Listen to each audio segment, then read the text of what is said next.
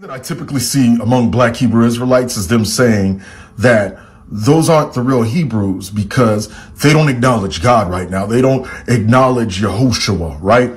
What if I told you that's a sign that they are actually the real ones as a whole, the nation of Israel? How can I say that? Because Romans 11 and other places of scripture say that they will not be delivered until Jesus comes back. He's going to cause them as a whole nation to put away uncleanliness, right? Ty, don't you see the things that they're doing over there? The things that they're doing over there is likened to Sodom and Gomorrah. That's, that, that means that they're not the true ones. No, that actually coincides with prophecy because in the book of Revelation right here, it talks about that at the time of the end, they're going to be likened to Sodom. So I really want you to keep that in mind. Everything that black Hebrew Israelites try to use to disprove the nation of Israel actually proves that it's Israel according to scripture. Well, Ty, us black Hebrew Israelites, we believe in Yahushua. So that means we're the true Israel. True Israel doesn't believe in Jesus as a whole until he comes back. That's Bible.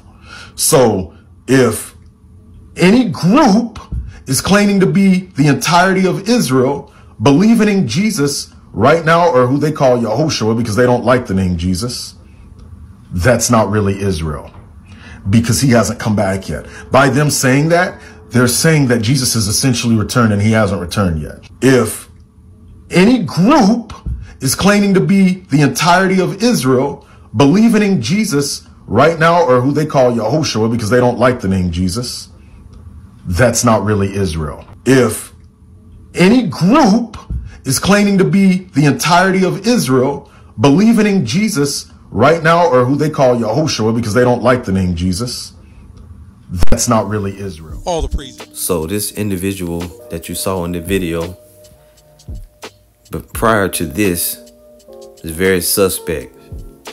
All right, the dude goes by the name Ty Jackson. He's weird beyond belief, and he doesn't understand the Bible whatsoever. I want to say all praise to Yahweh, Bahashem, Yahawashi, double honor to the apostles and the elders of Great Millstone. And this video will be entitled Response Hebrew Israelites Contradict the Bible. All right, one thing you Christians better learn quick is that you don't know prophecy. You don't know the Bible, number one, and you don't know prophecy. And this dude right here is irritating. He's been making videos for a long time, talking this little trash. He doesn't understand the Bible whatsoever. So we're going to go into a quick lesson dealing with some of his madness that he was talking about. You heard the video from the beginning. Now, the first thing I want to deal with is he brought up Revelation 11 and 8. and he's saying the fact that the people over there in the Holy Land don't believe in Jesus, as he said, as a whole, and the things they're doing in the land proves that they are the Israelites because of Revelation 11 and 8.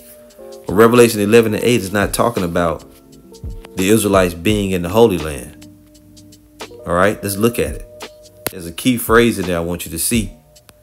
This is Revelation 11 and 8. It says, And their dead bodies shall lie in the street of the great city. What is the great city? The great city is not talking about in the Holy Land. It's not talking about Jerusalem, the physical city. And their dead bodies shall lie in the street of the great city which spiritually is called Sodom and Egypt, where also our Lord was crucified. Just because it says where our Lord was crucified, you got to look at, you can't think that that's talking about the Holy Land, right? Because you read on, it says, and the people, and they of the people and kindreds and tongues and nations shall see their dead bodies three days and a half, and shall not suffer their dead bodies to be put in graves. This is figurative language. This is, you know, it's not literal. Now going back to verse 8, because look, if, if that was talking about Jerusalem, what nation is going to see the dead bodies of, of the people that's supposed to be the Israelites and not suffering to be put in graves? It's not even speaking of a physical death. It's talking about the nation selling the Israelites into captivity, right? Giving gifts one to another and not suffering their bodies to be put in graves, meaning what? They wouldn't uh, tell the Israelites who they were. Now, when you read in Revelation 11 8 again, and their dead bodies, and what is the dead bodies? It's spiritually dead. It doesn't mean literally dead. It means not knowing their heritage and their dead bodies shall lie in the street of the great city, which spiritually is called Sodom and Egypt. To prove what we're telling you, Ezekiel 37 is written in allegorical form and is called what? The vision of the valley of dry bones. These are these same dead bodies of people that are spiritually not awakened. They don't know who they are. So that can't possibly be talking about the people in the Holy Land. They supposed to know who they are. You see? You see, because even when you go into Revelation 11, I'm sorry, Revelation, uh, Ezekiel 37, excuse me. Ezekiel 37, right? If you look at verse 12 or verse 11, then he said unto me, Son of man, these bones are the whole house of Israel. Behold, they say, Our bones are dried and our hope is lost. We are cut off for our parts. Therefore prophesy and say unto them, Thus saith the Lord power, Behold, O my people, I will open your graves and cause you to come up out of your graves and bring you into the land of Israel. Right? But it doesn't happen right away. When the Most High is bringing us up out of our graves, meaning He's bringing us back on our feet. He's giving us the knowledge back of who we are. And then at a particular time, when His Son comes, then we go back to the land. We'll cover that in a few minutes. It goes on, and ye shall know that I, the Lord, Salakia, and ye shall know that I am the Lord, when I have opened your graves, O my people, and brought you up out of your graves, and shall put my spirit in you, and ye shall live. See, so when the Lord puts his spirit in us, we become alive. See, it's not literally talking about dead bodies in Revelation 11. Even when you read on down to verse 9, 11 to 8 and 9, it's talking about a spiritual awakening that's going to happen to a people that did not know they were the Israelites. Everything comes in stages. And shall put my spirit in you, and ye shall live, and I shall place you in your land. Then shall ye know that the, that I, the Lord, have spoken it and performed it, said the Lord. So the whole book of Ezekiel 37 is all about that awakening of the Israelites. As a matter of fact, when you read further down, it goes into the 12 tribe sign. You see? So showing you that there was had to be a spiritual awakening of the Israelites. That's what it's going into. Being spiritually dead is not knowing who you are as a people. This is what the nations did not do. In verse 9, and they of the people and kindreds and tongues and nations shall see their dead bodies three days and a half and shall not suffer their dead bodies to be put in graves. But what did the Most High say? He's going to bring us up out of those graves. He's going to put the His Spirit within us, and we're going to know who we are. You see? As a matter of fact, um, in that same three days and a half, right? Revelation 11 and 11, and after three days and a half, the Spirit of life from the Most High entered into them. See that? So the Most High said He was going to make us rise to our feet. He was going to put his spirit within us. That's the great awakening, which you see happening now, which is why people like Ty Jackson are coming with all this madness, trying to thinking you can stop it. You can't stop us from waking up, dude. Nigga with blonde dreads going off, two going off two ways. First, blonde hair is going off. Secondly, a man with long hair is going off. And thirdly, dreadlocks is going off. That's a triple sin. Long hair, right? Which men should not have long hair, thus saith the scriptures. Blonde hair, which is leprosy of the damn scalp. And then having dreadlocks, which is a heathenistic custom, which is uh, uh, done in worship to the false goddess Shiva, the Hindu goddess Shiva, because dreadlocks are Shiva Jatas. That's a triple sin on your head. Then you got a tattoo, thinking you got the Most High name on your damn neck when the Lord said, don't get tattoos. Did you not know that the Most High cannot be honored with sin? Did you, you didn't know that? But you know all these deep mysteries. Yeah, get out of the way, man. Dude don't know what's going on. So this is the Great Awakening starting in verse 8. The dead bodies of the Israelites not knowing who they were. And their dead bodies shall lie in the street of the great city. What is the great city? Which spiritually is called Sodom and Egypt, where also our Lord was crucified. The great city is not talking about Israel. He tried to apply this to the land of Israel now, saying that people over there doing wickedness, and then you and you're lying. You saying the Israelites teach that. Look at the things they doing over there proves that they're not the Israelites. Well, look at look at the Israelites in America, the things they're doing over here. You see, they're doing wickedness, but we don't use that. We don't use the unbelief. We use the belief to prove, part, partially to prove that we are the Israelites. But is Revelation 11 8 talking about the land of Jerusalem? Because people get messed up because it says, well, also our Lord was crucified. But you need to look no further than this, this phrase, the great city. What is the great city in the book of Revelation? It's not Jerusalem. Let's go there. And we got several uh, entries to bring up on that. Revelation 14 and 8. Now we know that uh, Nineveh was called a great city, right? But we tell you that what America is spiritual Sodom, Egypt, Nineveh, right? It's all these different things rolled into one. Spiritual Egypt, Sodom, and Gomorrah, spiritual Nineveh, spiritually Rome. It's talking about Babylon the Great. And Babylon the Great is talking about America. Babylon the Great is not the Holy Land.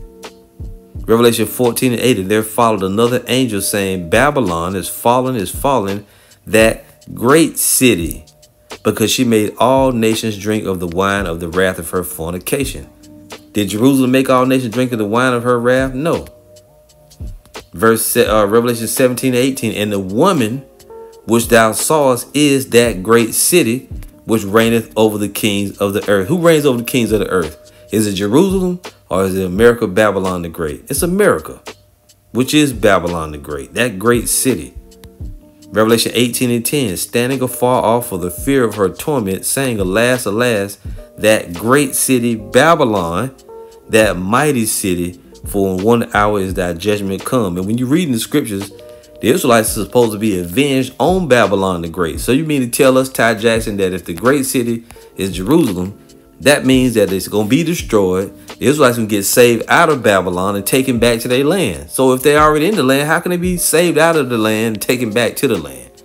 It doesn't even make sense because it's not talking about the great city. It's not speaking of Jerusalem. It's talking about another place where the Israelites are in captivity, which also is going to help us prove that the people over there down in the land are not Israelites standing afar off for the fear of her torment, saying, Alas, alas, that great city Babylon, that mighty city, for in one hour is thy judgment come. Revelation 18 and 6. I mean, you can go that go on that way for a long time. And we read Revelation 18 and 20, it says what I just got finished saying. The Israelites will be avenged on Babylon the Great. Because when you read in Revelation 18, when you start up at the top, it says Babylon is fallen right? Verse 2 And he cried mightily with a strong voice, saying, Babylon the great is fallen, is fallen, and has become the habitation of devils and the hold of every foul spirit and a cage of every unclean and hateful bird. Where is this place, Babylon? It's none other than America. Babylon the Great. Now, when you go to Revelation 18 and 20, so we know that it's talking about Babylon the Great. It says, Rejoice over her, thou heaven, and ye holy apostles and prophets, for the Most High hath avenged you on her. This is the same place, the great city, right? The same great city being spoken of in Revelation 11 and 8. And a mighty angel took up a stone like a great millstone and cast it into the sea, saying, Thus with violence shall that great city Babylon be thrown down and shall be found no more at all. So the holy apostles and prophets in the kingdom of heaven, which is the Israelites, are going to be avenged on this place. So wait a minute. Ty Jackson wants you to believe that in Revelation 11 and 8, that great city is talking about Jerusalem because he said it. But that's not, he didn't say it in those words, but he said that all the things they're doing over there, he used that verse to try to say that the Lord said the Israelites would be like Sodom and Gomorrah in the last days. Right? That the land over there would be like Sodom and Gomorrah but he was going off because that verse wasn't dealing with over there in the Holy Land. It was dealing with another place. So according to him and according to the scriptures, if the Holy Land is is uh what Revelation 11 and 8 is talking about, that would mean that the Most High would have to avenge the Israelites on the Holy Land. And that's stupid. That doesn't make sense. See it? Rejoice over her, thou heaven, and ye holy apostles and prophets, for the Most High hath avenged you on her. And the mighty angel took up a stone like a great millstone and cast it into the sea, saying, Thus with violence shall that great city Babylon be thrown down and shall be found no more at all. See? So it's going to be completely destroyed, and this place is not going to be found anymore at all. So that couldn't possibly be talking about the Holy Land because the Israelites are supposed to return to that land. How they gonna return to a land? First off, how they gonna be avenged on their own? Uh, they're gonna their blood is gonna be avenged on a land. It's their own land. It's gonna be destroyed and never found anymore at all. Then what are they gonna rule over? What are they what are they gonna rule from? That doesn't make sense. So Ty Jackson was wrong on that. Completely damn wrong. Cause he's bugged out. A bugged out weirdo. And he, he just doesn't understand the Bible. Now the second point we want to deal with this dude said that um, Revelation 11, if any group, he said, if any group it, as a whole is saying that they believe in the Savior, then they're not the Israelites because all the Israelites are supposed to believe till the Savior returns. That's a damn lie. First off, we don't teach that all Israel as a group believes in the Savior. Because no, hey, the Lord only dealing with his elect for number one. And he says that in, in Romans 11. He's only dealing with his elect.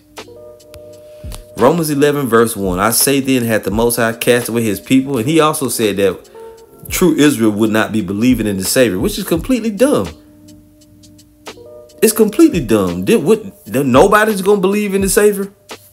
No, his true people will believe in him. His elect, his chosen, will believe in him. Matter of fact, let's go there. Let's go there first. Uh, John 17, and we're going to start at verse 6. He says, I have manifested thy name unto the men which thou gavest me out of the world. Who are the men that the Lord, the Heavenly Father, gave you Yahushua out of the world? First, well, it's called the elect. First, his 12 disciples, and then that would extend to 12,000 from each tribe, would it not? That's who the elect are, and also one third of all Israelites in Babylon the Great. That's the elect, the chosen. I have manifested thy name unto the men which thou gavest me out of the world. All Israel ain't gonna believe in the, in the Savior until we get into the kingdom of heaven. But on this side, there will be a remnant that does believe in the Savior, that does believe in the in the Heavenly Father and His Word. This is Isaiah 1, verse 9. Except the Lord of hosts had left unto us a very small remnant we should have been as Sodom and we should have been likened to Gomorrah, right? We would have been completely destroyed if the Lord had not left us a remnant. Now in Revelation, I'm sorry, in John 17 and 6, he says, I have manifested thy name unto the men which thou gavest me out of the world, the elect, the same remnant. Thine they were, and thou gavest them me, and they have kept thy word. So we never said that all Israel gonna believe in the Lord only the chosen. That's why we constantly preach that only the elect is going to get this truth. Now they have known that all things whatsoever thou hast given me are of thee. For I have given unto them the words which thou gavest me, and they have received them. Who did they? The elect. And have known surely that I came out from thee, and they have believed, have believed that thou didst send me. So the elect is going to believe in the Savior. What are you talking about?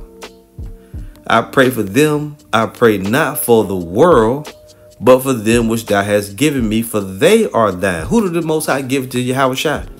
Those that are in his hand, right? The elect. Let's see here. Shall no man pluck.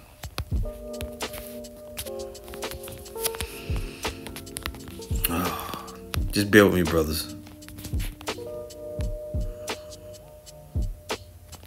Of father's hand.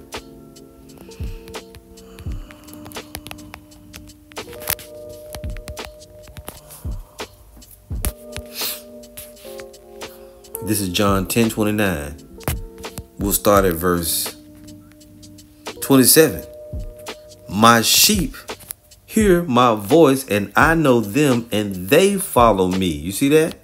So those that don't believe, they're not the father's sheep. Let's let's go up a little bit. Um John 10 25. Yahweh shall I answer them, I told you, and ye believe not. Those that don't believe in the Savior, even if they are his people, they're not the, the chosen. They're not the elect on this side. The works that I do in my Father's name, they bear witness of me. But ye believe not, because ye are not of my sheep, as I said unto you. My sheep hear my voice, and I know them, and they follow me. Who's going to follow the Savior? The elect. See that? The chosen.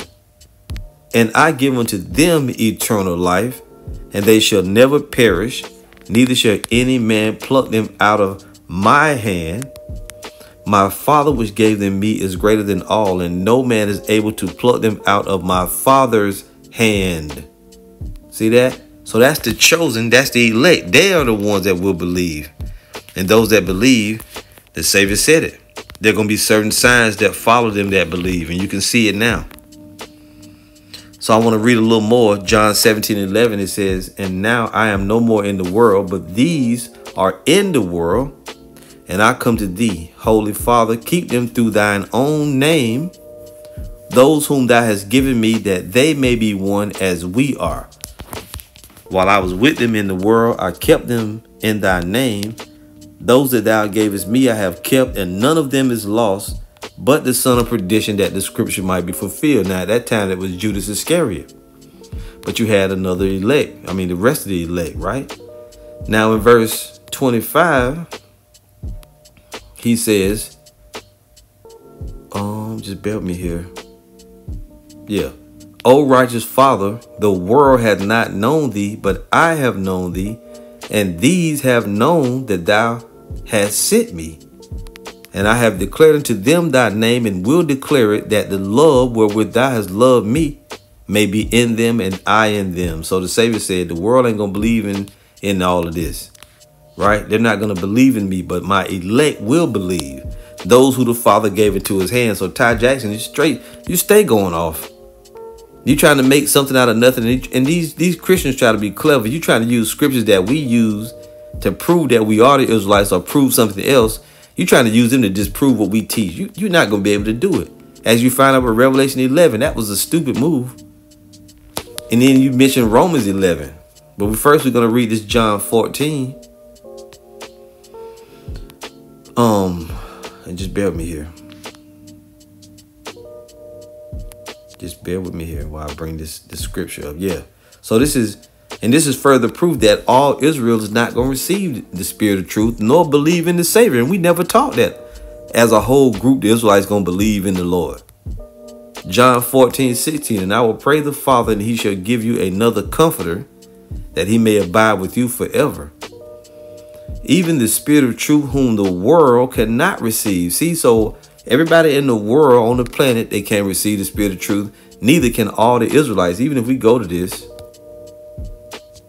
this word world is cosmos, same as in John 3.16. So really it's talking about the world of Israel. So not all Israelites going to even believe in the Father. An apt and harmonious arrangement of constitution, order, government, which is what? The Israelites. So when the Savior says, even the spirit of truth whom the world cannot receive, that world is the world of Israel. So all the Israelites can't receive the spirit of truth. So we don't even teach that they all going as a whole gonna receive this, the uh the, the Savior. Are they gonna believe in the Savior? So that's a, a moot point. Even the spirit of truth whom the world cannot receive because it seeth him not, neither knoweth him, but ye know him, for he dwelleth with you and shall be in you. There you go. So there's only going to be a chosen elect that believe in the Savior. Now there is a remnant according to the election of grace. Here it is, Romans 11 and 1. I say then, hath the Most High cast away his people? Yahweh forbid, for I also am an Israelite of the seed of Abraham, of the tribe of Benjamin. The Most High hath not cast away his people which he foreknew. What ye not what the scripture saith of Elias, how he maketh intercession to the Most High against Israel, saying, Lord, they have killed thy prophets and digged down thine altars, and I am left alone, and they seek my life. But what said the answer of the Most High unto him? I have reserved to myself seven thousand men, which have not bowed the knee to the image of Baal. What does this mean? Number one, this was um a repeat of what happened in the time of Elijah. Elijah hid in the cave. The Most High came to Elijah while you hide in the cave. Elijah thought he was the last one left, but the Lord said, No, I have reserved to myself 7,000 men which have not bowed a knee to, to the image of Baal. In our time now, the seven represents what? A complete number, which is the elect of men who have not bowed the knee to the image of Baal, meaning they don't worship other gods and idols. They don't belong to them. They belong to the Heavenly Father. That's the same remnant. He says right here in verse 5 Even so, then at this present time, also there is a remnant according to the election of grace. So that remnant is the elect. According to the election of grace. That same remnant we read about in uh in uh, Isaiah 1 and 9. So Ty Jackson is steadily lying, saying that we teaching the whole group, everybody gonna believe in the Lord. No, they're not. Only the elect is gonna believe in the Lord. And if by grace, then it is is it no more of works. Otherwise, grace is no more grace. But if it be of works, then it is no more grace. Otherwise, work is no more work. What then? Israel has not obtained that which he seeketh for. All the Israelites can't get this. Even the Savior told you that. Right? The world cannot receive this. But the election hath obtained it, and the rest were blinded. So only the elect out of the Israelites even gonna receive this truth, and the rest of the Israelites are blinded. So you was right on the point that not all Israelites gonna gonna believe in the Lord, but you was wrong in trying to put it on number one, trying to put it on those people over there in the Holy Land. You basically try to make a call, make a case that they ain't none of them gonna believe. No, that's stupid. The Lord ain't gonna save a people that don't believe in him. He's gonna save his elect. As a matter of fact, let's show you that he will save his elect. He that's all he's gonna save. We're gonna go now to Isaiah 10 and verse 20 it says, And it shall come to pass in that day that the remnant of Israel, what's the remnant? The elect, and such as are escaped of the house of Jacob, shall no more again stay upon him that smote them, but shall stay upon the Lord, the Holy One of Israel in truth. So there will be a remnant that believes in the Lord. They're no longer gonna gonna stay on, meaning rely on the oppressor, which in our case is Esau, Edom, the so-called white man, but shall stay upon rely on the Lord, the Holy One of Israel in truth. So they're to get the truth and believe it, which is why you have a great awakening. The remnant shall return, even the remnant of Jacob unto the mighty God. That's a cut, Ty Jackson. You said that none of the people, true Israel, wasn't going to believe in the Lord as a whole. Well, we never said that they would. We said that the elect is going to believe in the Lord. That's what we say. And, they, and, and they're not over there in the Holy Land now. The remnant shall return, even the remnant of Jacob unto the mighty God. For though thy people Israel be as the sand of the sea, yet a remnant of them shall return. A remnant. The consumption decree shall overflow with righteousness. The consumption is the nuclear destruction of Babylon, that great city. Revelation 11 and 8, Revelation 18, we talked about. It's not talking about the Holy Land. For the Lord of hosts, for the Lord of power or God of hosts, shall make a consumption even determined in the midst of all the land. Right. And why is the Lord going to make a, a consumption in the midst of all the land? As punishment to pay back those, right, that um those that uh that uh persecuted the Israelites. Excuse me. You see? So the last thing we're gonna discuss, so Ty Jackson was completely off on all his points, and then and thirdly, or now, I want to offer another prophecy that this this uh, bug out doesn't understand. You going on and on about the people over in the Holy Land, they're gonna be in the land, not and nobody believes in the Savior, but he's gonna come and save them. What's he gonna come and save them from? If they're already in the land, they're not supposed to be there.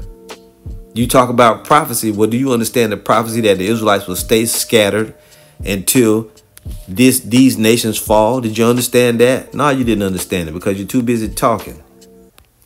Revelation 21, right? And I'm gonna start at verse uh I started 23, right? I started uh I started 20. Now, this is speaking of the time around about 70 AD, right? Starting with but in the end, he gives a prophecy saying that the Israelites will stay scattered. When they leave and get scattered, they're never going to return to the Holy Land until he comes back and he's going to take them home. Luke 21 and 20. When you shall see Jerusalem compassed with armies, excuse me, then know that the desolation thereof is nigh. That's 70 AD. Then let them which are in Judea flee to the mountains, and let them which are in the midst of it depart out, and let not them that are in the countries enter thereinto. For these be the days of vengeance, that all things that are which are written may be fulfilled. And we know that when that happened, many Israelites died, but others ran into the interiors of Africa and other surrounding lands, right? A portion, portions of them. Then others were sold into captivity. Let's read it. But woe unto them that are with child, and to them that give suck in those days, for there shall be great distress in the land and wrath upon this people. And let me add to that these lands that the Israelites, especially when they fled into the interiors of Africa, they were rounded up later on and sold into slavery. He says, But woe unto them that are with child, and to them that give suck in those days, for there shall be great distress in the land and wrath upon this people. What people? On the Israelites. And they shall fall by the edge of the sword. Right? When, the when they got besieged, they fell by the edge of the sword and shall be led away captive into all nations. They got sold into slavery.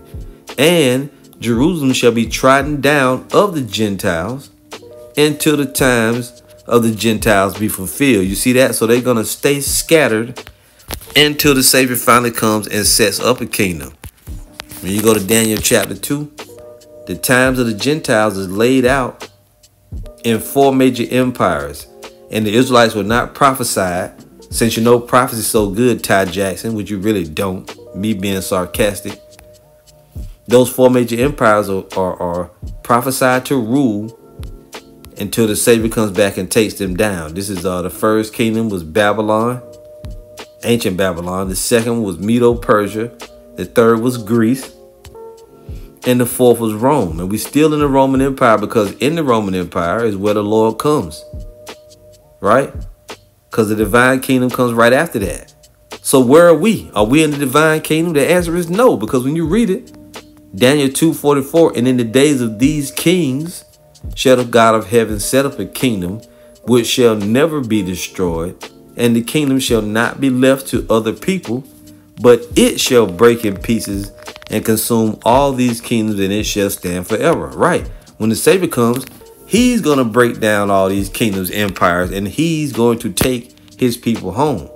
So there's no way in hell possible that the people over there now in the Holy Land are the Israelites, unless we're in the kingdom of heaven already.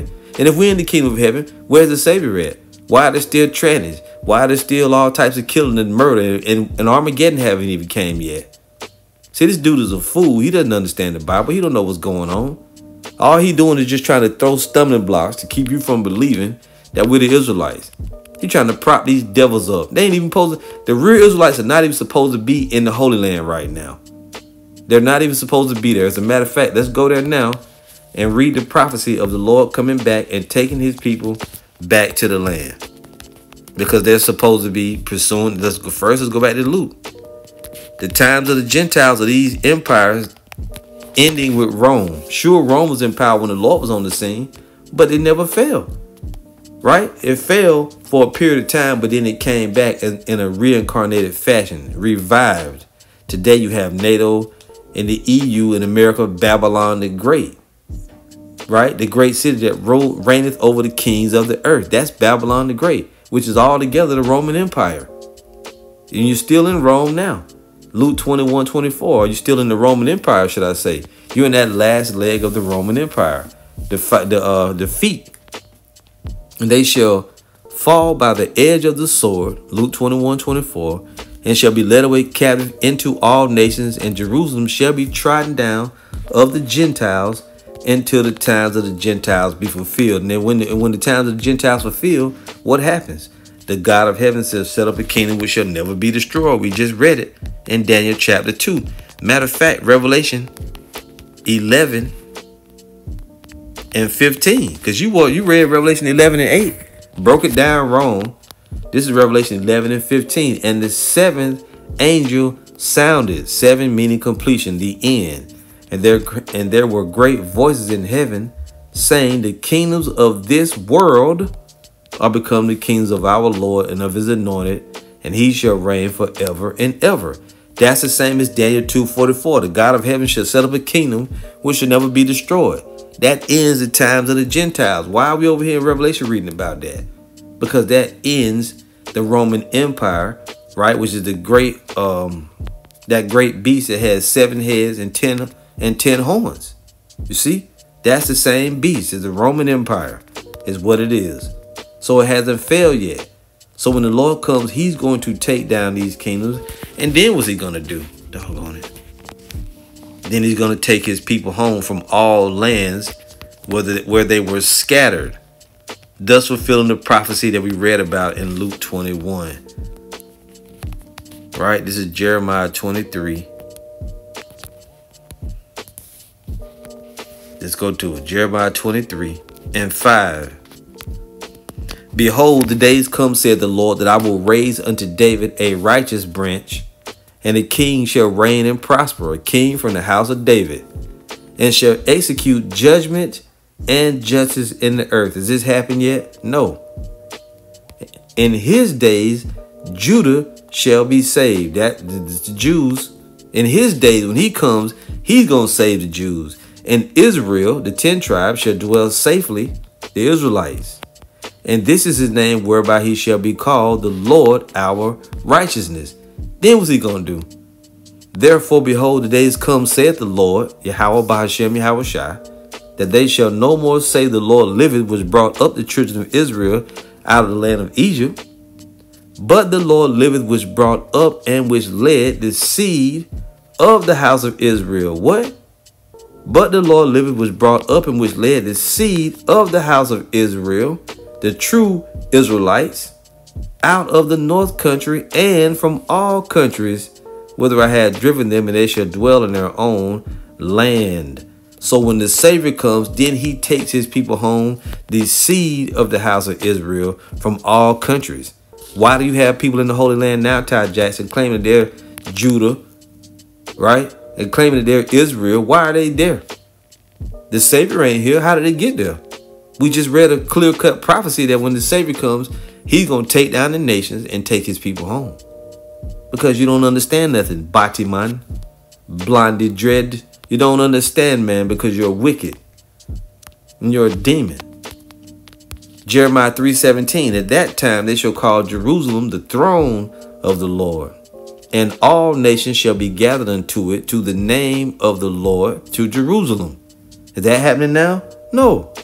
Neither shall they walk anymore after the imagination of their evil heart. That's another cut. Because this dude just made a case saying because they so wicked over there, that proves they the true Israelites. Nope, wrong. Wrong, wrong. When the Israelites go home, they're going to be completely righteous. The Savior's going to be here. The empires of the world would have fallen. Armageddon would have happened. You so off. At that time they shall call Jerusalem the throne of the Lord, and all nations shall be gathered unto it to the name of the Lord to Jerusalem, neither shall they walk anymore after the imagination of their evil heart. How's that going to happen? Because they're going to get new bodies. They're going to be under the new covenant. They're going to be immortals, not even capable of committing a sin. That ain't now.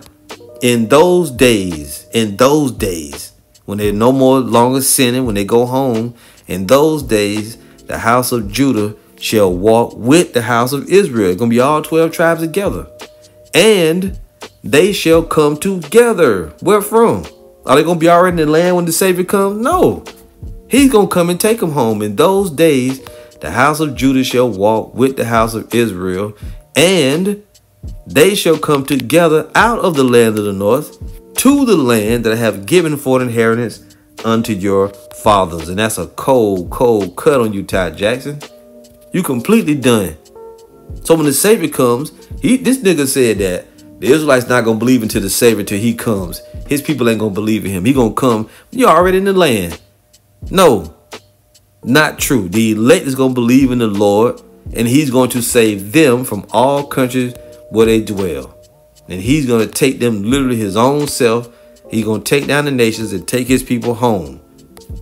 That's it. You fucked up, Ty Jackson, because you don't know the Bible, man. But it's all good. For those that will listen, you can clearly see this guy don't know what the hell is going on. He's bugged out for more reasons than I named. There's even more reasons. And this dude might be paid off, but it don't matter. Even if he's not paid out, he's just a bugged out Christian. Blonde dreads, long hair, tattoo on his neck, tripping. That's it, brothers. All praise to Yahweh, Bahashem, Yahawashi. Shalom.